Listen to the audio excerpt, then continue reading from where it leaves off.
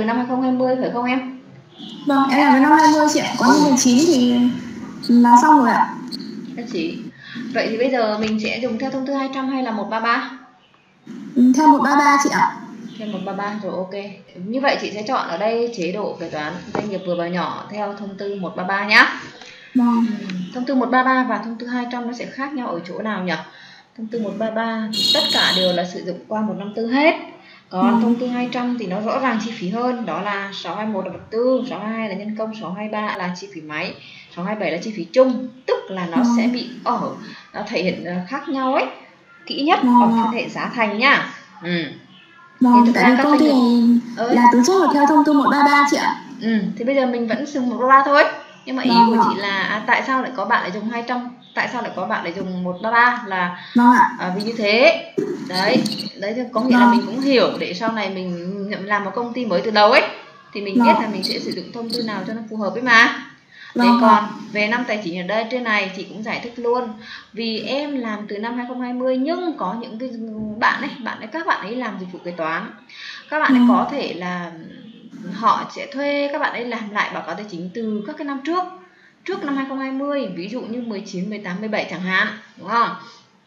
Cái công ty bên này của em ấy thì họ cũng bảo em là ừm, kẹp lại sổ sách cho họ từ những cái năm 17, 18 ấy chị. ừ. Nhưng mà báo tài chính thì kế toán trước người ta làm rồi thì bây giờ em hạch toán lại thì làm sao mà khớp ừm, đúng với lại cái báo cáo tài chính cũ được chị nhỉ?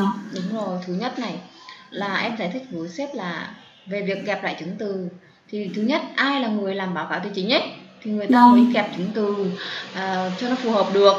Chị ví dụ như Vâng. là cùng là một cái báo cáo tài chính, cùng là một cái số liệu ấy nhưng kế toán này làm đấy thì ra một con số khác, kế toán Vâng. làm khác thì cũng ra một con số khác. Mặc dù là lãi hay lỗ thì nó cũng không phải là vanh nhiều quá. À, tức là Vâng. có nghĩa là cái cái lợi nhuận đấy nó Vâng, cũng không phải là chênh lệch nhiều quá nhưng mà ví dụ như một cái công cụ dụng cụ ấy là 10 triệu đồng thì có kế toán này phân bổ 24 tháng có khối kế toán này phân bổ là 30 tháng đúng không Vâng. tại vì vâng. thực ra trong cái luật kế toán họ cũng quy định là phân bổ từ 2 cho đến 36 tháng ấy tùy theo giá Vâng. trị của công cụ dụng cụ cho nên là bây giờ bảo là họ không in sổ sách sổ cái sổ chi tiết ấy ra cho em thì em cũng không thể nào làm được một cái báo cáo tài chính y chang như là của họ được khó lắm Vâng, vâng. tức là cũng sẽ dò ra nhưng rất khó có nghĩa là nó Vâng. sẽ lệch nó sẽ được cái chỉ tiêu này thì nó lại lệch chỉ tiêu khác ấy nên Vâng. bây giờ em sẽ xem lại tình hình doanh nghiệp ở công ty em là không có sổ sách kế toán thì nên tư vấn cho doanh nghiệp là hãy nộp lại báo cáo tài chính nhá Vâng. trong luật thuế quy định là mình được phép nộp lại báo cáo tài chính để trước khi cơ quan thuế có ra một cái quyết định đóng dấu ấy của quản lý bên thuế ấy à, Vâng. chi cục trưởng ấy thì em sẽ không bao giờ được nộp lại bởi vì trên hệ thống của họ đã khóa những cái năm đấy rồi họ sẽ không chấp nhận cái cái cái báo cáo tài chính em nộp lại ấy. Nhưng mà khi chưa có thông báo thì tốt nhất là em cứ làm lại đi nhá. Ừm, làm lại thì đơn giản mình cứ thấy mình nộp và in, in, in sổ sách và kẹp chứng từ theo hệ thống mới. Được chưa? Và Tức chỉ là khi mà khi mà có thông báo của cơ quan thuế ừm, để kiểm tra thì mình không cần nộp lại nữa hả chị? đúng rồi không có không được nộp lại bởi vì lúc đó cái hệ thống trên mạng họ đã khóa sổ công ty em lại rồi. Họ sẽ không Vâng. nhận bất kỳ một cái tờ khai nào thế nếu như mà không nhận được thông báo gì thì mình vẫn nộp lại được bình thường đúng không? Đúng rồi, chính xác có nghĩa là trước khi cơ quan thuế có quyết định thanh tra kiểm tra công ty em thì Vâng công ty em được phép nộp lại báo cáo tài chính. Vâng. Đấy là báo cáo tài chính thì em nộp lại bình thường. Còn riêng quyết toán thuế thu nhập cá nhân, quyết toán thuế thu nhập doanh nghiệp thì em làm lại và nộp tờ khai điều chỉnh nhá. Làm Vâng. lại báo cáo tài chính và nộp tờ khai điều chỉnh. Thế thì bây giờ chị cứ dạy cho em năm 2020, được chưa? Còn Vâng về các năm trước, nếu như sau này khi em có thể hỏi, khi em học em hiểu về cái cách dạy của kế toán Việt Hưng rồi, với lại em cảm thấy tự tin với năng lực của mình rồi, em bảo là Ừ. em sẽ nhận lại, làm lại cho công ty ấy từ Vâng. những năm trước đó nếu công ty là công ty của nhà em còn nếu em đi làm thì em sẽ à, đương nhiên em làm thì em sẽ phải có cái chi phí để công ty họ thuê mình ấy thì mình sẽ yêu cầu nhá thế bây giờ Vâng. quay lại vấn đề là chị đã nói với cái năm tài chính này này rất nhiều bạn học viên cứ có nghĩa là trong cái à, công việc yêu cầu là phải làm lại từ năm 17 chẳng hạn nghe chưa Vâng. thì Vâng. ở đây năm bắt đầu năm tài chính em sẽ phải lùi lại về năm 17 cho chị từ ngày năm 17 và kết thúc là 31 tháng 12 năm 2017 ngày hạch toán trên phần mềm là mùng 1 tháng 1 năm 2017 luôn đó nha. Ừ. được chưa?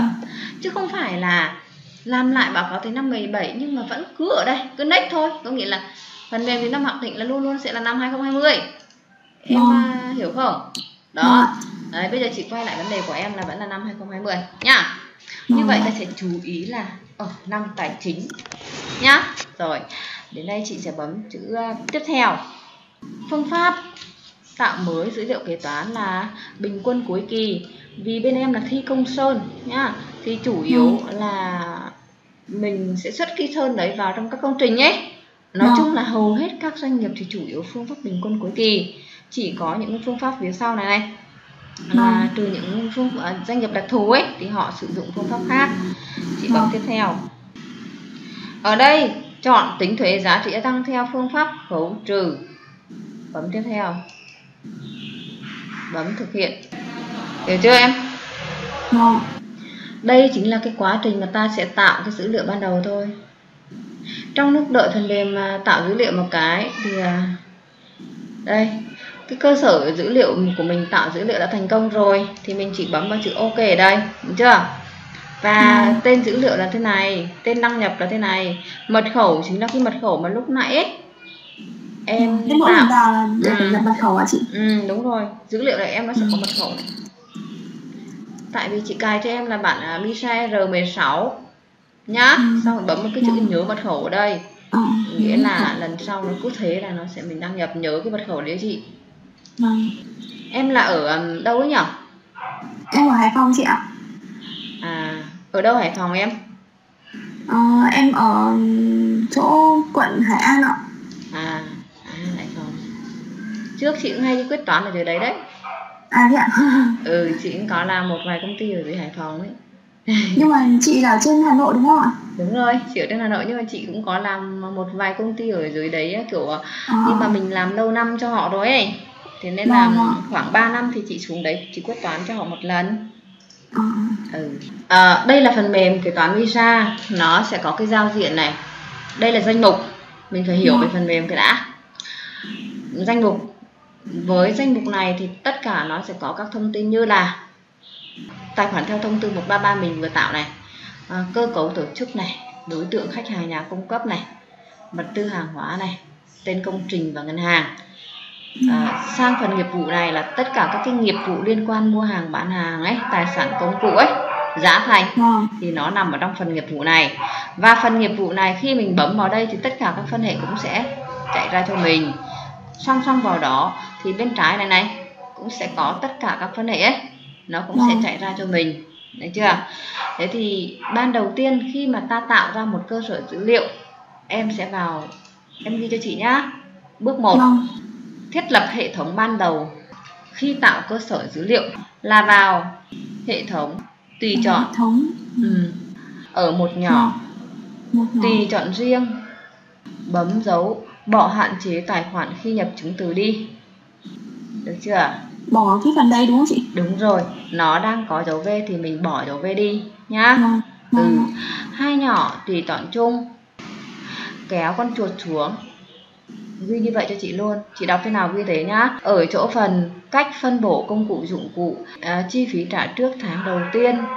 À, doanh thu nhận trước tháng đầu tiên ta chọn vào phân bổ từ ngày ghi tăng nhá chỉ giải thích này có một cái công cụ dụng cụ mình mua vào ngày 24 tháng 5 năm 2020 chẳng hạn Thế thì mình chỉ phân bổ từ ngày 24 tháng 5 năm 2020 thôi. Trong tháng 5 nó sẽ có 31 ngày. Tức là nó sẽ có mấy ngày nhỉ? 9 chia cho 31 mà nhân với giá trị phân bổ một tháng ấy thì ra giá Vâng. trị phân bổ của tháng đầu tiên nhá. Ừ. Như Vâng. vậy ở phần hai nhỏ này, một nhỏ thì bỏ dấu V đi, hai nhỏ thì chọn cho chị cái phần công cụ đó là được rồi nhá. Vâng. Và Vâng. tiếp theo chị cũng hướng dẫn luôn là ở phần chín nhỏ sao lưu đây này Thì mình nhìn ở đây này Phần mềm Misa đã được sao lưu vào ổ D Misa backup rồi Nên là mỗi lần mình đóng chương trình lại một cái Phần mềm sẽ tự động sao lưu cái dữ liệu mà mình vừa nhập của ngày hôm nay ấy Vào trong À. ổ D Thì mình sẽ không bị mất mát dữ liệu Và Vâng. sau này khi em không dùng máy tính này Em sang một máy tính khác ấy Thì chị sẽ dạy em phục hồi nó lên cho nên cái ưu điểm của việc dùng phần mềm là thế. Mình không sợ mất dữ liệu, nhá. Ok, sau đó mình bấm vào chữ áp dụng ở đây. Phần mềm hỏi. Đồng ý luôn, nhá. Và bấm đồng ý cho chị. Như vậy là chị đã hướng dẫn cho em bước đầu tiên của việc thiết lập hệ thống ban đầu, nhá. Rồi, em gì bước 2 cách tạo phòng ban nhân viên. Được chưa? Em ghi này. Vào danh mục. Mục chọn cơ cấu tổ chức. Đây nha chọn cơ cấu tổ chức này. Thêm thêm. Mã đơn vị này thực ra ấy trong Lisa mã đơn vị chính là mã phòng ban nhá. Thì chị ghi là bộ phận quản lý tức là thuộc cái công ty mà em đang làm được chưa? Mình chỉ tạo ra một bộ phận quản lý và một bộ phận lắp lắp đặt thôi ấy. Hay gọi là bộ phận sản xuất chỉ bấm cất tức là công ty của em sẽ cho sinh ra hai cái bộ phận. Một là quản lý hai là sản xuất. Vì sao? Bởi vì cái chi cái phần bộ phận quản lý đó. Sau này mình sẽ đình khoản là nợ 642 liên quan. Nghe chưa? Còn cái bộ phận sản xuất thì tất cả sẽ là nợ 154 liên quan. Hiểu không? Vâng. Ừ thế đây bây giờ mình sẽ làm bộ. Chị ấy thường là một công ty thì thường là chỉ có hai bộ phận này thôi chị có bộ phận nào nữa không hả chị thế thôi Ừm, tùy nhá. Ví dụ mình đang làm công ty xây dựng vừa xây dựng này vừa sản xuất này thì mình sẽ Vâng. phải tạo ra ba phòng ban. Một là quản lý hai là xây dựng ba là sản xuất. Mục đích của À. mình tạo ra phòng ban là để tí nữa mình đi vào từng hướng một quản lý cho vào 642 sản xuất cho vào 154 được chưa? Vâng và vâng. sản xuất thì đương nhiên trong một công ty thậm chí là có rất nhiều cái mảng sản xuất nữa cơ. Có nghĩa Vâng. là không phải chỉ một giá thành đâu một loại giá thành đâu. Đối với công ty mà chị đang dạy em thì chị sẽ dạy cho em theo phương pháp là giá thành theo công trình. Thế nhưng mà có những công ty lại vừa tồn tại cả giản đơn để cả công trình. Có nghĩa là cả sản xuất rồi cả lắp đặt. Em hiểu gì không? Thì cái mức Vâng. độ khó nó sẽ khó hơn. Và Ừ. khi đó mình sẽ tạo ra cái mã mã đây chính là mã công trình và mã mã sản xuất nữa. Tức là nó sẽ tạo tồn tại ba phòng ban được chưa? Còn bên em ấy Vâng. bây giờ nó là lắp đặt thương mại và thi công sơn ấy.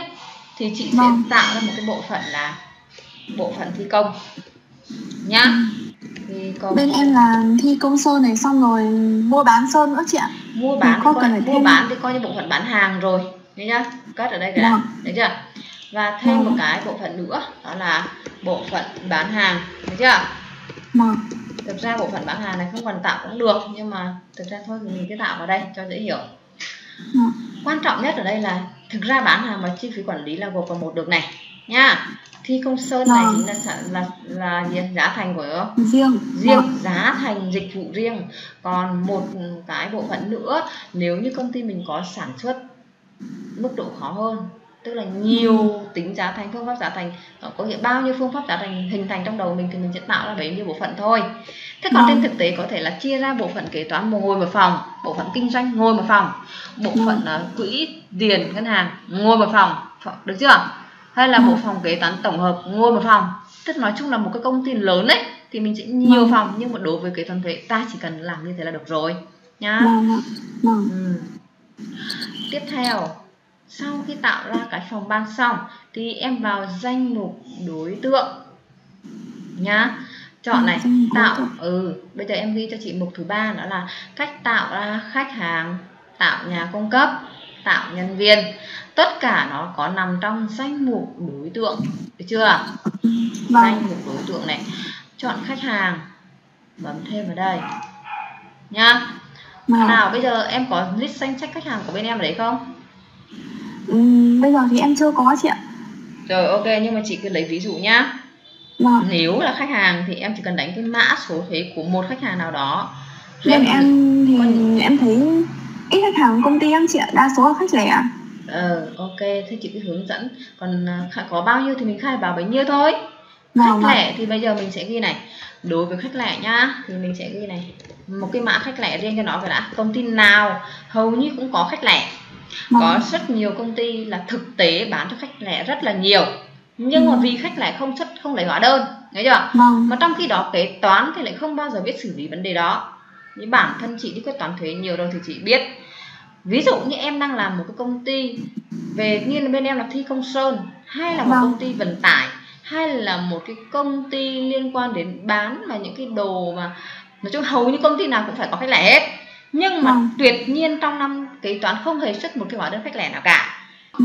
thế nên Vâng. mặc dù trên thực tế có xuất nhiều rất nhiều nhưng kế toán lại không chịu xuất hóa đơn vậy mình sẽ phải làm thế nào hàng tháng hãy xuất cho chị hà vài ba hay bốn cái hóa đơn khách lẻ mặc dù Vâng. nội dung nhỏ thôi nhưng vẫn ghi là khách lẻ không lấy hóa đơn nhá đó kinh nghiệm đấy nhá lấy hóa đơn ở đây có hai ý nghĩa. Một ý là cất là cất luôn nhá. À, còn mình cất và thêm có nghĩa là cất cái khách lẻ đấy và thêm một cái khách hàng mới. Ví dụ chị sẽ tạo ra một cái mã khách hàng mã số thuế của bên chị. 0106 145 319 lấy thông tin à đây là Ờ. công ty cổ phần đầu tư và công nghệ Việt Hưng là bên chị đây ấn mã số thuế là nó sẽ tự ra tên công ty hả chị? chính xác đấy cho nên chị bảo em có nhớ Ờ. cái mã số thuế của công ty nào không nhưng em không nhớ thì chị sẽ ví dụ cho em là đây là mã số thuế của Việt Hưng chị bấm Ừ. lấy thông tin một cái thì à, tên công ty và địa chỉ nó sẽ xuất hiện luôn ở Ờ. đây cái mã thì chị hay đặt như thế này khách hàng chấm Việt Hưng hiểu chưa Vâng. thuộc sau đó mình để bấm cất và thêm cho chị nhá Vâng. và thêm tương tự có bao nhiêu khách thì chỉ bấm là một cái mã số thuế lấy thông tin cái là ra tuy nhiên không phải 100 công ty thì 100 công ty đều lấy lên thông tin được có một số công ty Ừ. không lấy lên được những Ừ. công ty không lấy lên được mình cũng phải xem lại công ty họ có phải công ty ma hay không có có vấn đề gì Ừ. không và những cái nhưng mà tuy nhiên không phải là vì những công ty không lấy lên được là công ty ma đấy là chị vẫn nói thế à, được Vâng. chưa mình sẽ Vâng. tạo và lúc đấy thì mình sẽ tự tạo tay cho chị nhá Vâng. Đấy là về công ty khách hàng tương tự như thế vào danh mục chọn đối tượng chọn nhà cung cấp ở đây bấm thêm nhá thì ở đây Ừ. mình sẽ đánh lại mã số thuế của công ty cũng tương tự như thế thôi lấy thông tin một cái nhá toàn bộ Vâng. sẽ lên nhưng nhà cung cấp chấm đấy chị hay làm việc là thế Vâng. ví Vâng. dụ như là gì gì đó nhá Việt Hưng Vâng. Nếu trong trường hợp giả sử như công ty Việt Hưng là vừa là khách hàng vừa là nhà cung cấp của em. Vâng. đấy quay lại khách hàng. Thì sao? Thì click vào đây bấm luôn. Đây À. nha chứ không phải là lại thêm hai cái mã Việt Hưng đâu. Là phần Vâng, mềm sẽ báo lỗi ngay không cho mình À. lưu. Nha lưu ý. Như vậy là em sẽ về có bao nhiêu khách hàng có bao nhiêu nhà cung cấp ấy. Thì khai đủ khai đúng cho chị. Được chưa? Vâng. Thì kể em cứ khai đủ đủ cái mã số thuế này này. À, có trong cái thông tin nhà cung cấp có đủ mã số thuế thì khi em lọc một cái nhá chỉ ví dụ này vào chỗ bán hàng nhá chứng từ bán hàng đây. Tí nữa mình chỉ cần lọc đúng cái mã số thuế thôi 319 ra ngay Việt Hưng đây ba số thuế. À. thấy chưa?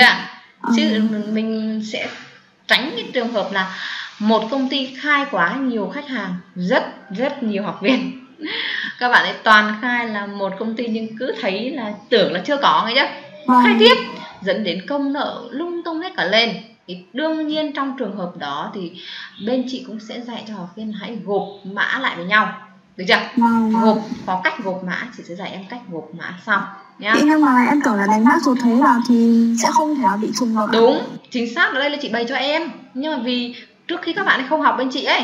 Nghe chưa? À, thì các bạn ấy vâng, làm rồi thì khi mà bảo chị ơi bây giờ cái năm này à, trách hộ em cái. Chị thấy công nợ sai bét à bởi vì sao? Các bạn ấy cứ một cái công ty mà s- khai quá nhiều lần đấy mãi.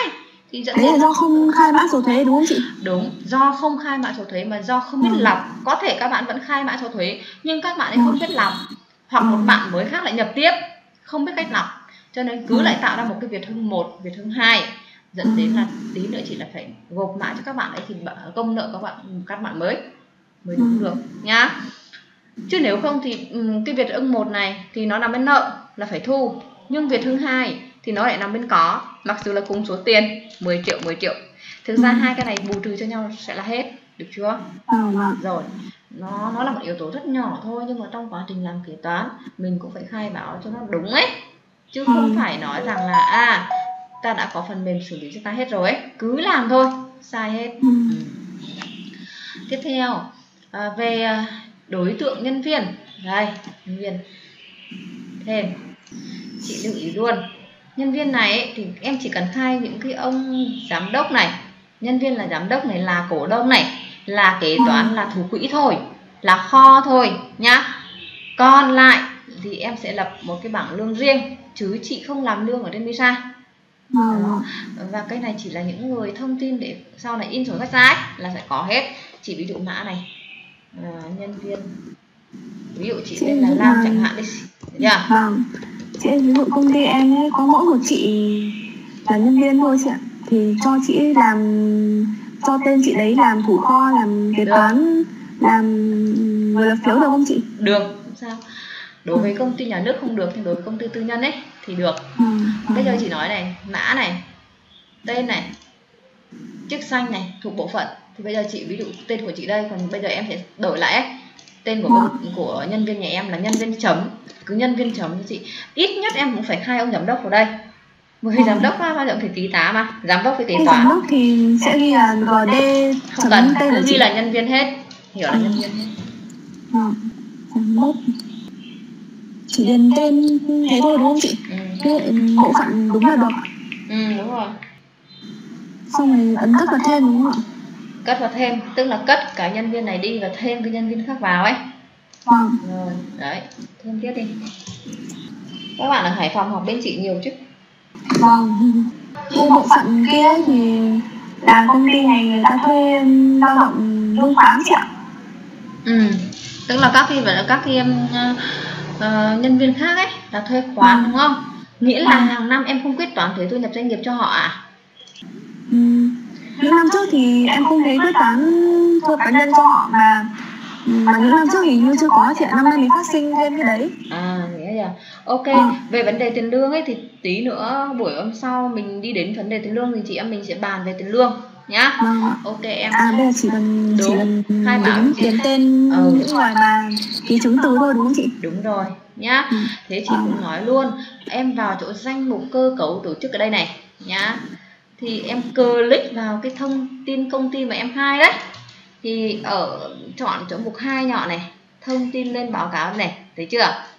Giám đốc tên gì điền vào đây kế toán trưởng có bỏ qua thủ kho tên gì điền vào đây. Thủ quỹ tên gì điền vào đây. Người lập biểu tên gì điền vào đây.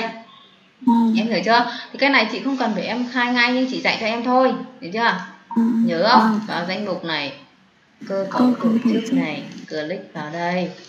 Đó. Cái cái này điền để lúc mà in chứng từ là nó hiện tên ra đúng không chị? chính xác nhá. Mình Ừ, khỏi phải ờ, điền tay nữa khi ký nữa. Không phải ờ, ghi tay nữa nhá. Ừ. rồi.